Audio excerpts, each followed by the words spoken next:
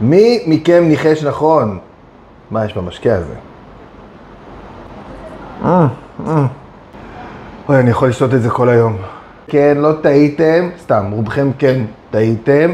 מעטים מאוד הצליחו לנחש, זה היה סודה של מי תסיסה. אני לוקח אה, מים קרים, מוסיף קצת מים של כרוב כבוש ישן.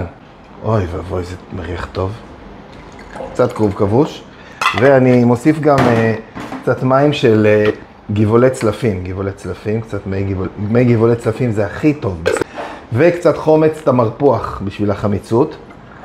קצת חומץ תמרפוח, אך, אך, בטח אתם יושבים וחושבים לעצמכם, איזה בר מזל הוא אורי שיכול לשתות סודה מכל מיני דברים מוצסים. ובשביל הקיק, אני מוסיף קצת חריפות עם uh, טבסקו, כן? טבסקו שלנו, וואי, וואי, וואי, וואי. זה הולך להיות, אלוהים ישמור. מוכנים? טה-דה-דה-דם. הולכים להגיז את זה.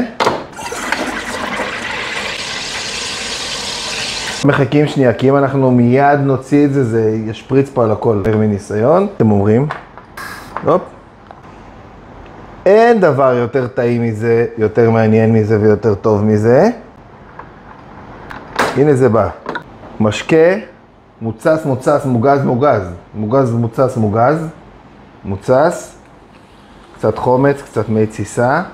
תראו איזה יופי. קצת חריף, קצת חמוץ. קצת מיוחד, צלפים בכלל, צלף סיצילי. אוי, זה מעולה. וואו, נעמה, את חייבת לשתות מזה. זה מזכיר לי את הקימצ'י המוגז שקיבלתי מקנדה. תקחי, כן, חייבת, חייבת לשתות את זה, חייבת. זה מדהים, מדהים, פשוט מדהים. אין, אין. זה עכשיו המשקה הלאומי. מי שענה נכון בחידון יקבל, אה, אני אזמין אותו לדרינק, אה?